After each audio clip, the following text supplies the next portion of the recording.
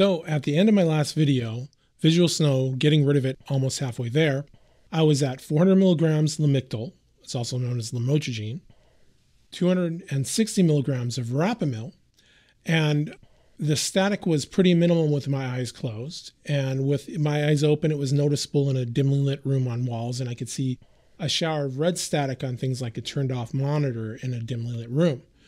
And I talked to my doctor after that, giving it a little bit more time, and had him look into other medications that open up the veins of the eyeball. He came up with Lasix or furosemide. And it's basically a pee pill. It makes you pee.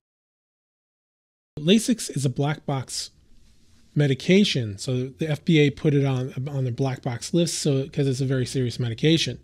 It, it, can cause low blood pressure, low thyroid, and low potassium levels, and these can do bad things to you. You also can lose enough water and electrolytes that you can do things like faint, and it also can cause you to die. If you take it long term, it has some serious health effects, but I'm not expecting to be on this medication long term with the three thought processes, I was able to get down to one by taking two medications, and I had a feeling that it would be a permanent fix. And that's the same thing with this. I, I think what's going to happen is that it, it's like a fire hydrant with a garden hose hooked up, and it has a spray nozzle on the end, and they didn't open up the spray nozzle. So if you have a brand new garden hose and you hook it up to the fire hydrant, it's going to go from a flat thing to a round, round, round tube really, really quickly. And you do that multiple times over, it's it's going to stretch out to its normal space. And if you keep doing that, it's going to explode, but we're not going to explode our eyeballs. Um, so this doesn't look to me as being permanent for me.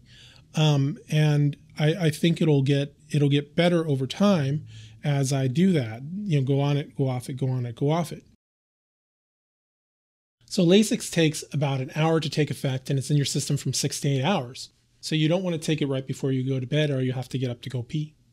And it the desired effect for what we want is to open up the veins of the eyeball and lower your blood pressure. So that the blood pressure part is concerned if you have low blood pressure. Um, did I say pee enough? So Lamictal is a medication that I've heard comments from that it didn't work for them. So if you don't have side effects, it doesn't feel like anything has changed and it's not going to show difference until you get up to 150 milligrams. So you may want to revisit that. I'm currently at 400 milligrams and it gets better with age. So you might want to look into it.